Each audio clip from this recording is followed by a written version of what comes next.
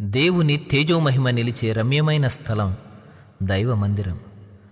ఆ మందిర ఆవరణలో స్వస్థత నెమ్మది ఆదరణ సంతోషం విజయం సమృద్ధిగా దొరుకుతాయి.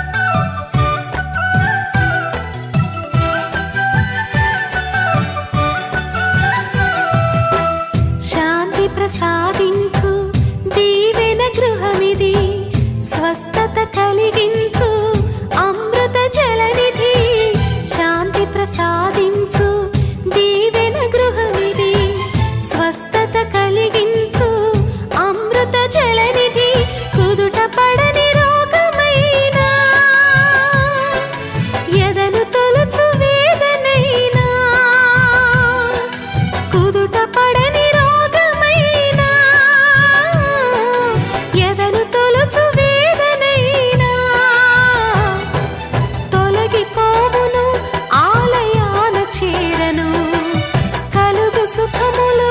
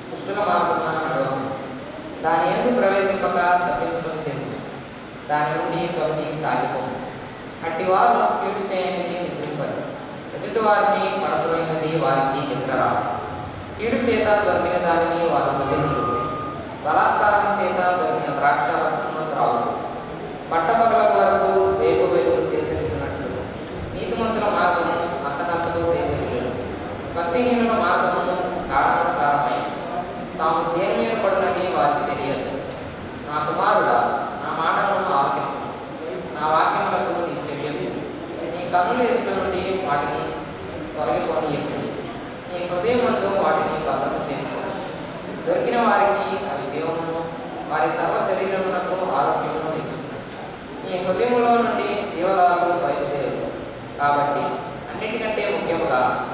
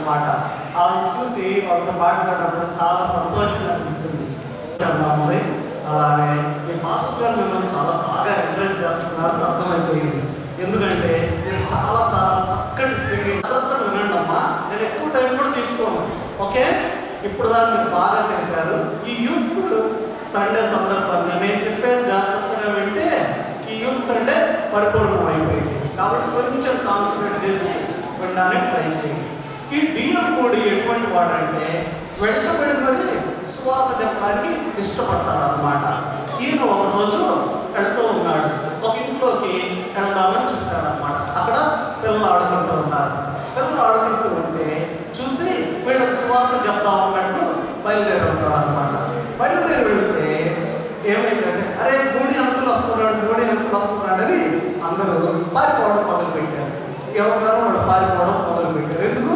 సువార్త చెప్తాడు ఎందుకంటే మా మైండ్ వింటాడు ఏమో పారిపోవడం మొదలు పెట్టారు అందులో ఒక అమ్మాయి ఏం చేసిందంటే ప్లేస్ ఎక్కడ తప్పించుకోవడం తర్వాత వాళ్ళ ఇంట్లో పంచ కింద దాక్కుంది అనమాట పంచ కింద దాక్కుంటే ఈ మూడు ఏం చేస్తాడంటే చక్కగా మంచం కింద దూరి అమ్మాయి కాలు పట్టుకొని లాగి కూర్చోబెట్టి స్వార్థ చెప్తాడు అన్నమాట.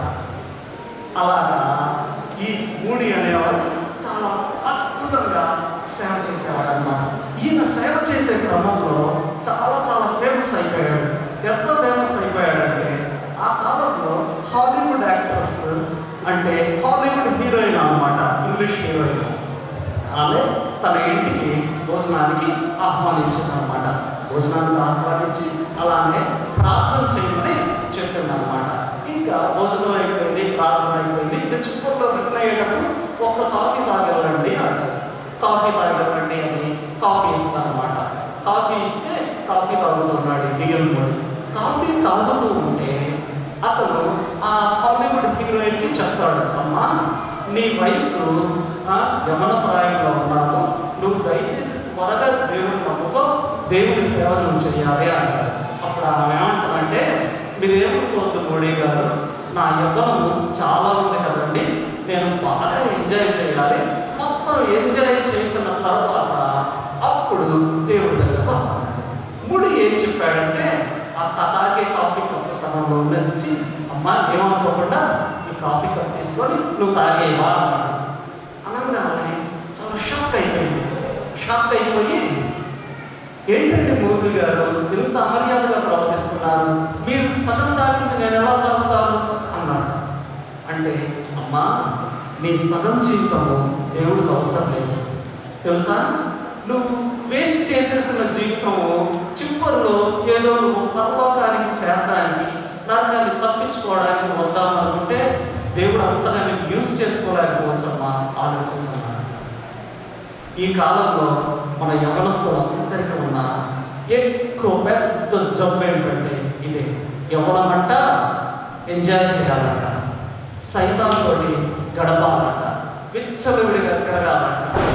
ఫైనల్గా ఫైనల్గా దేవుడి దగ్గర వస్తాడంట ఒంగోలులో ఒక నిజంగా జరిగిన సంఘటన. ఇష్కోల్ చర్చ్ అనేది ఉంటుంది. మీకు తెలుసో లేదా? పెద్ద చర్చ్ అనమాట ఇష్కోల్ చర్చ్ పదింటికి స్టార్ట్ అవుతే అయిపోయింది. వాళ్ళేమో మధ్యలో ఆరాధన స్టార్ట్ చేస్తారు. ఆరాధన చాలాసేపు జరుగుతుంది. అందులో బిలీవర్స్ అయిన ఫ్యామిలీ నుంచి వచ్చిన బాబు ఏం చేసేవాడంటే సినిమాలు చూడడానికి అలవాటు పడ్డాడు. కరెక్ట్గా ఆరాధన స్టార్ట్ అవ్వగానే ఆ పక్కనే బీబీఎస్ థియేటర్ అని ఒకటి ఆ థియేటర్కి వెళ్ళి సినిమా చూసేవాడు. అయిపోయే టైంకి చందా పట్టే టైంకి వచ్చేవాడు. వేసేవాడు చందా వేసేవాడు కామ్ ఉండేవాడు ఒక కనపడట్లేదు అని. నిదానంగా తెలుసుకున్నాను. రెగ్యులర్గా ప్రతి ఆదివారం వాడు సినిమా కడతాడు సరే వాళ్ళక్క చెప్పింది చెప్పింది చెప్పింది. చాలాసార్లు చెప్పింది. బైబిల్లో వచనాలు కూడా దృష్టి ఇచ్చింది ఇదే మాట. ముందు నన్ను ఎంజాయ్ చేయండి ఎంజాయ్ చేయండి. ఒకరోజు ఏమైందంటే చర్చ్ హడావిడిగా అయిపోతుందనే తొందరలో బైక్ స్పీడ్గా డ్రైవ్ చేసుకుంటూ వచ్చాడు. Sudden accident spot dead spot dead అయిపోయింది. యవ్వనం ఎంజాయ్ చేద్దాం అనుకున్నాడు. యవ్వనం అయిపోయిన తర్వాత దేవుడి దగ్గరకు వద్దాం అనుకున్నాడు. అతని పరిస్థితి ఏంటి? రావడానికి కూడా లేదు. ఛాన్స్ అయిపోయింది. సామెతలు ఇరవై తొమ్మిది మొదట వచనంలో ఉంటుంది.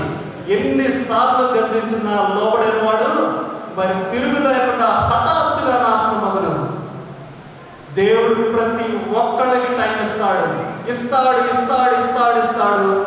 టైం అయిపోయిన తర్వాత క్లోజ్ ఏం చేయడానికి ఉండదు. స్ట్రైట్ గో టు హెల్ నరకానికే. మన వయసు సపోజ్ ఇరవై సంవత్సరాలు ఉండొచ్చు.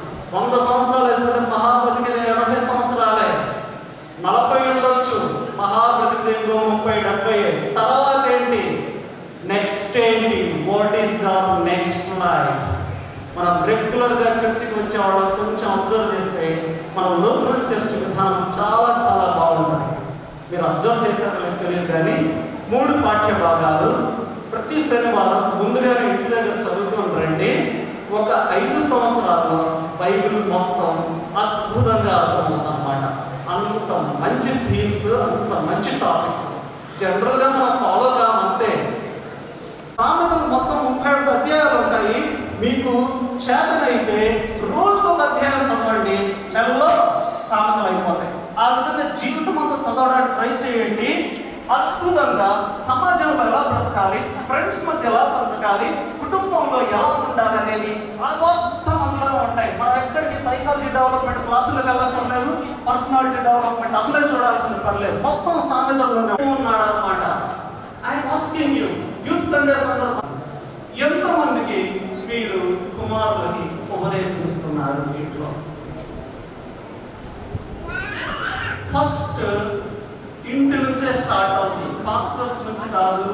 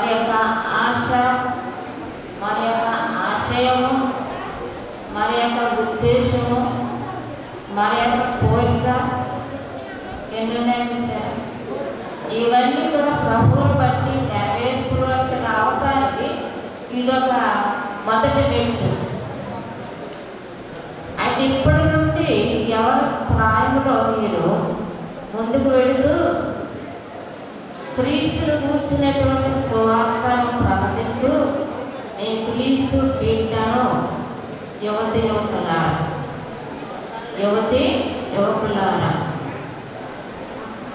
క్రీస్తును బట్టి సిగ్గుపడక. ఆ పేరును బట్టి మీరేం చేయాలంటే దేవుని నామానికి మహిమకరంగా ప్రీతికరంగా మీ భవిష్యత్తును కొనసాగించాలని చెప్పి ప్రాపూర్తిగా మీకు హెచ్చరిక చేస్తూ ఉన్నాను. కాబట్టి ఇక్కడ మంగళ స్నానం అన్నారు. ఇప్పుడు ఇంకా చాలా సమయం అయింది. చాలామంది నిద్రపోతున్నారు కూడా కాబట్టి లిస్టులో చాలా పేరు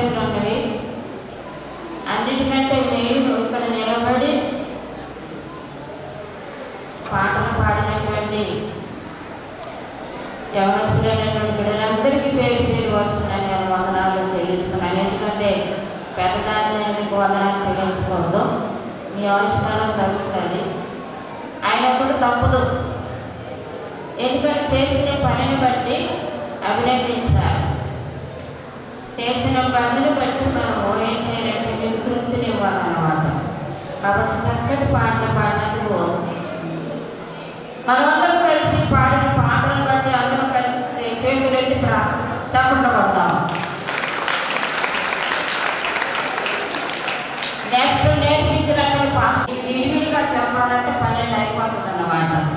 కాబట్టి అన్ని పేర్లోకి కూడా ఒకటే గ్రీటింగ్ అనమాట చెప్తా చెప్పండి పట్టండి ఆరాధన జరిపించినటువంటి వారు మొదలుకొని ఇంకా ముగింపులో రాలేదు. పాస్టర్ గారు ముగింపు ప్రార్థన ఏం చేయలేదు. ఆయన కూడా చెప్పాల్సిన పాస్టర్ గారు కూడా ముగింపు ప్రార్థన చేసినటువంటి చేయబోతున్నటువంటి పాస్టర్ గారు వరకు ఏం చేద్దామని మనం అందరము చెప్పబట్టండి కోరుచున్నాం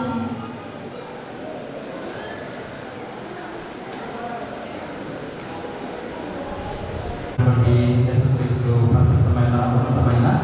శ్రేష్టమైనటువంటి నామములకు కూడి వచ్చిన మీ అందరికీ కూడా నా ప్రత్యేక వందనాలు తెలియజేస్తున్నానండి రీతిగా ప్రీతిగా యవ- యవనస్తుల ఆదివారాన్ని యువజనుల ఆదివారాన్ని గొప్పగా చేసుకోవడానికి దేవాది దేవుడు మనందరికీ ఇచ్చినటువంటి గొప్ప అవకాశాన్ని బట్టి మీ అందరికీ ప్రత్యేకించి యవనస్తులైనటువంటి వీళ్ళందరికీ కూడా నా తెలియజేస్తూ తెలియజేస్తున్నాను మరి యవనస్తుల గురించినటువంటి ఒక మాటను చెప్పి నేను ముగిస్తాను.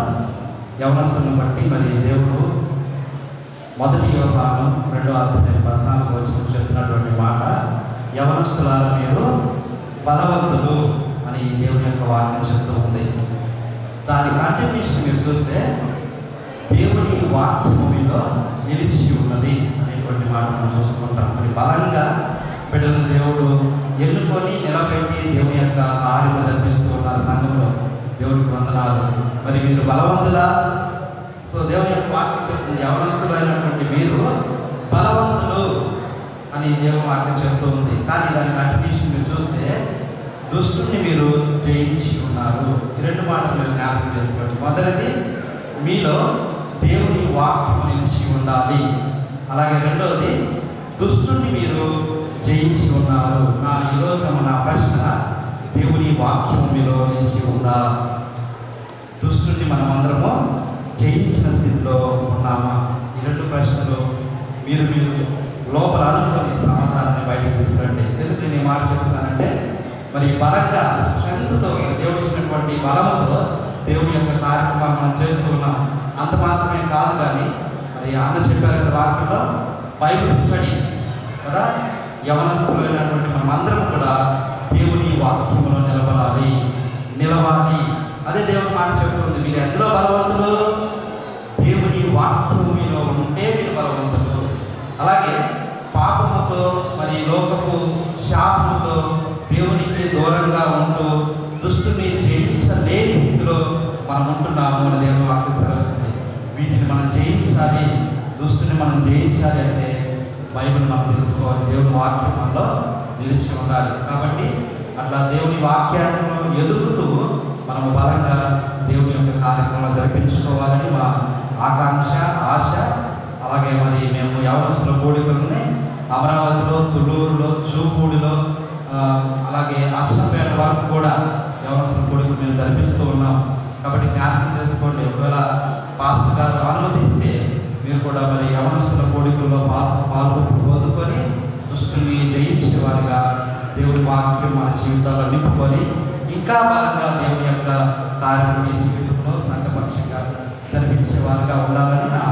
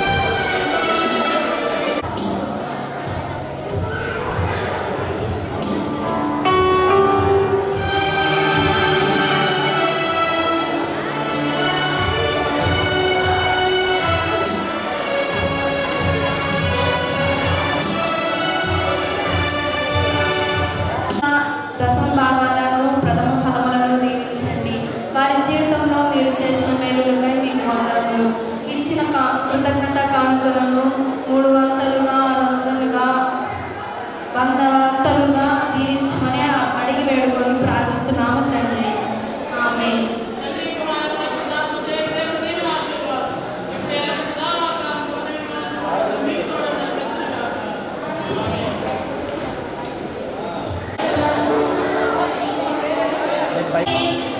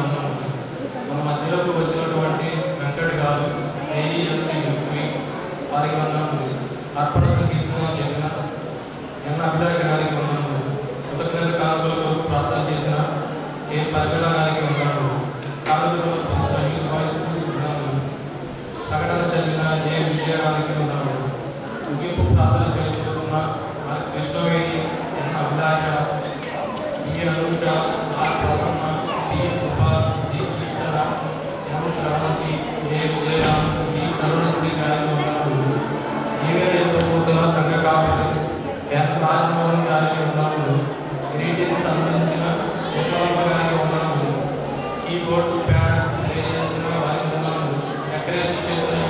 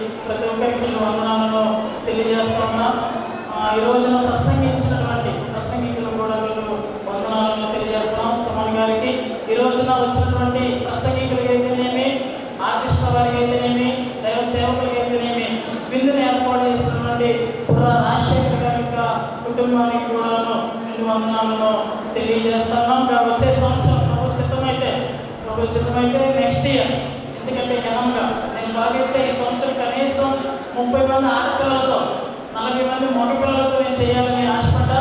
ఈ సంవత్సరం నేను ప్రొజెక్టర్ పెట్టాలనుకున్నా. ప్రొజెక్టర్ మనం లైవ్లో ఇక్కడ చర్చిలో చూడాలి. ఈ సంవత్సరం నా విజయం కొంచెం ఇబ్బంది అయింది. కానీ ప్రభు చిత్తమైన నెక్స్ట్ ఇయర్ మనం ప్రొజెక్టర్ను ప్రభు చిత్తమైతే కొనుక్కుందాం. ఇక అన్నీ తీసుకోవడం లేదు. నెక్స్ట్ ఇయర్ కల్లా నెక్స్ట్ యూత్ సండే కల్లా ప్రొజెక్టులు మనం కొనేసుకున్నాం.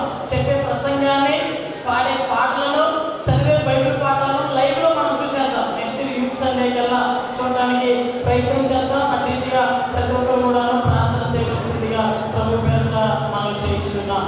నవంబర్ ఇరవయో తారీఖు. ఏంటి స్పెషల్ ఆ రోజు? ఏముంది? నవంబర్ ఇరవై తారీఖు. స్త్రీల ఆదివారం. సిద్ధపడండి. నవంబర్ ఇరవై తారీఖు స్త్రీల ఆదివారం. వస్తారు ఈ మాత్రం చేశారు? టీనేజ్ వారు ఏ రీతిగా చేశారు? పెద్దవాళ్ళు మనం ఏ రీతిగా చేయాలో ఆలోచన చేయండి. మనం పాటలు పాడితే మనం ప్రసంగికులను ఏర్పాటు చేసుకుంటే మనం ఆరాధన చేస్తే బయట ఉన్న వాళ్ళు ఇక్కడ ఏదో పరిశుద్ధాత్మ వరం వచ్చింది. లేదా ఇక్కడ ఏదో పరలోక రాజ్యము ప్రత్యక్షత కనబడతా ఉంది అనే రీతిగా నవంబర్ ఇరవై తారీఖు మన దేవాలయం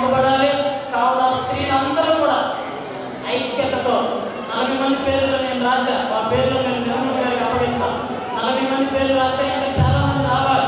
ప్రతి ఒక్కరు కూడాను వైద్యంగా ఏర్పడటానికి ప్రయత్నం చేయండి. ఎప్పుడు మనం ఏ రీతిగా జరుగుతామనే విషయాన్ని నేను ముందు ముందు తెలియజేస్తాను. ఈ కార్యక్రమం అంతటికి సహకరించిన సంఘ పెద్దలందరికీ ఇల్లు వందనాలు తెలియజేద్దాం ఒకసారి చెప్పడం సంఘ పెద్దలు థ్యాంక్ యూ అదే రీతిగా కుల పెద్దలకు. మన కుల పెద్దలకు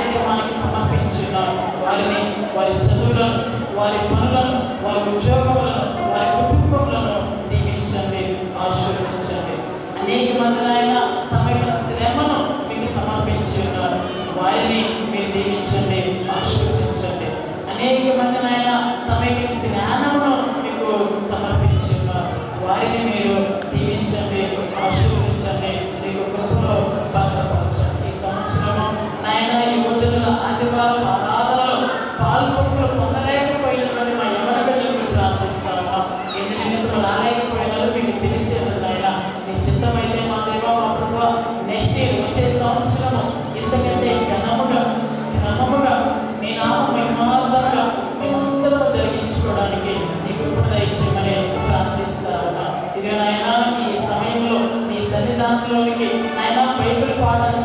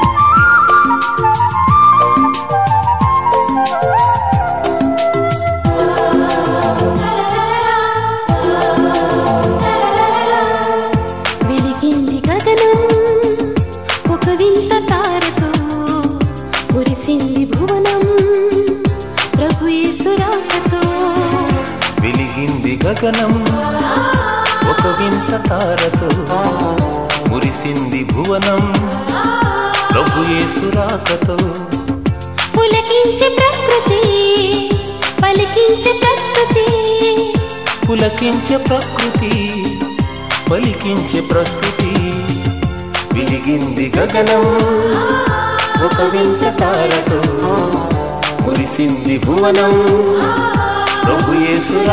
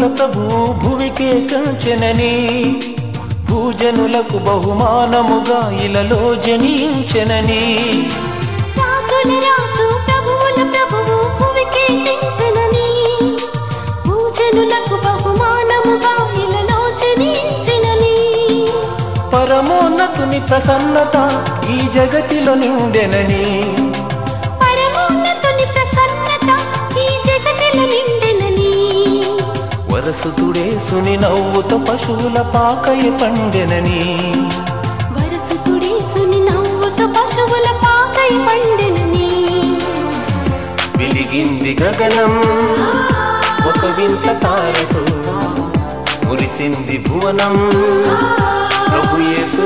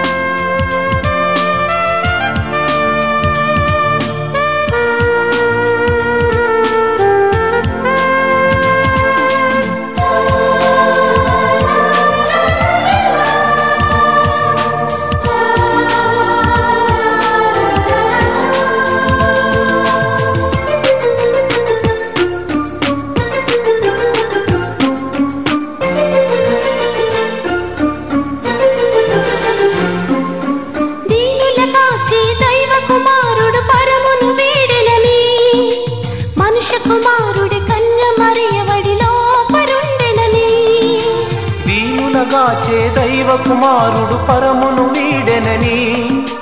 మనుష కుమారుడే కన్య పరుండెనని. రక్షకుడు యేసయ్యగా వచ్చినని. పాపుల బ్రోచే రక్షకుడు ఏ సయ్యగా వచ్చెనని. కాపుదలిచ్చే ఇమ్మానుయేలు వెలుగును తెచ్చినని. కాపుదలిచ్చే ఇమ్మానుయేలు వెలుగును తెచ్చెనని. వెలిగింది గగనం. ఒక వింత తారతో మురిసింది భువనం. ప్రభు యేసు రాకతో వెలిగింది గగనం. ఒక వింత తారతో భువనం. పులకించే ప్రకృతి పలికించే ప్రస్తుతి. పులకించి ప్రకృతి. పలికించి ప్రస్తుతి విరిగింది గగనం ఒక వింత తారతో మురిసింది భువనం. ప్రభు యేసు రాకతో